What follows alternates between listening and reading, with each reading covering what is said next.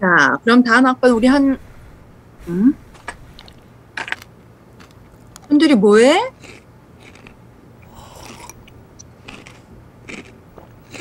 아니, 지금 뭘 씹고 있어요?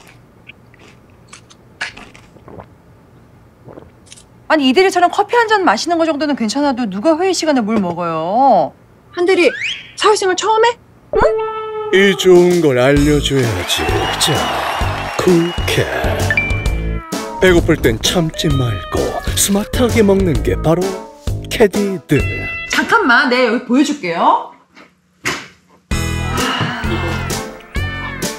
아 여기 있다. 어 여기 맞다. 자 보면 다들 지금도 커피 마시는 거야? 쿠켓.